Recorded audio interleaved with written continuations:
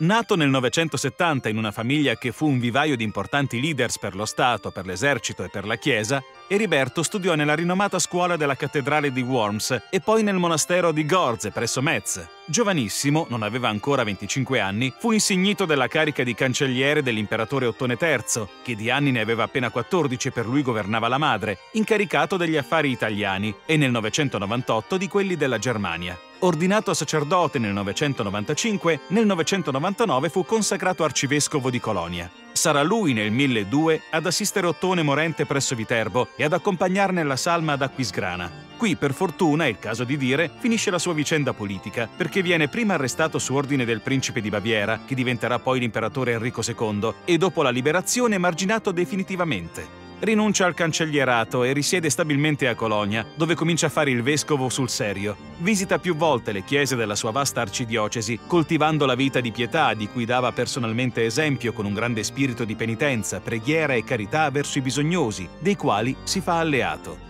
Tra i miracoli da lui compiuti in vita vengono citati l'aver salvato dalla fame Colonia, riuscendo a ottenere con la preghiera la pioggia dopo una tremenda siccità, la guarigione del suo cappellano, di un ossesso e di una donna cieca. Eriberto morì il 16 marzo 1021 o 1022 e fu sepolto a Deutz presso Colonia.